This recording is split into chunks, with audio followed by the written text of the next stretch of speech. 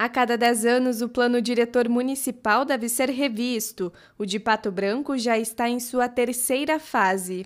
O processo de revisão do plano diretor de Pato Branco está organizado em quatro fases. A primeira fase envolve o planejamento das atividades, estabelece a metodologia a ser aplicada e o cronograma. A segunda fase é dedicada ao diagnóstico da realidade municipal. A terceira fase consiste na elaboração de diretrizes e propostas a partir do diagnóstico da fase anterior.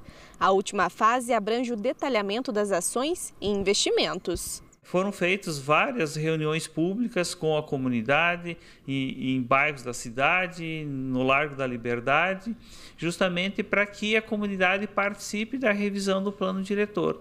E agora nós estamos na fase final, foi dividida em quatro fases, né? nós estamos já na terceira fase, então a, a, o cronograma é para finalizar em abril, então nós temos né, um pouquinho do mês de fevereiro, março e abril finaliza o plano. A gente entrega na Câmara de Vereadores para que passe pela apreciação do Legislativo e, consequentemente, após aprovação, passa para o Executivo sancionar. Então, nesta terceira fase, nós temos audiência que será realizada no dia 28 desse mês de fevereiro, às 19 horas, no Largo da Liberdade. Na revisão do plano diretor, os trabalhos consistem em conciliar as análises técnicas com as contribuições da população. Então, esse é o momento em que a, a população tem mais uma oportunidade de identificar uh, as propostas e as diretrizes do município. Então, todo esse material informativo está disponível no site da Prefeitura, na aba da Secretaria de Planejamento Urbano. Material disponível para estudo, para ler, para baixar, fazer os apontamentos, enfim.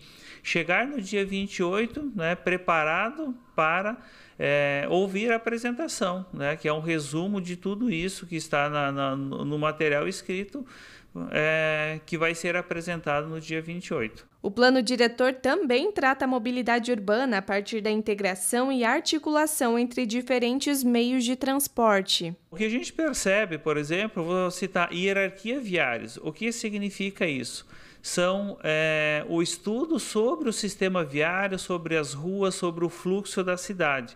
Hoje a gente percebe alguns é, pontos em que o tráfego é mais intenso, principalmente na questão do centro. Então, nós estamos estudando toda a hierarquia viária justamente para facilitar esse fluxo, essa movimentação de veículos.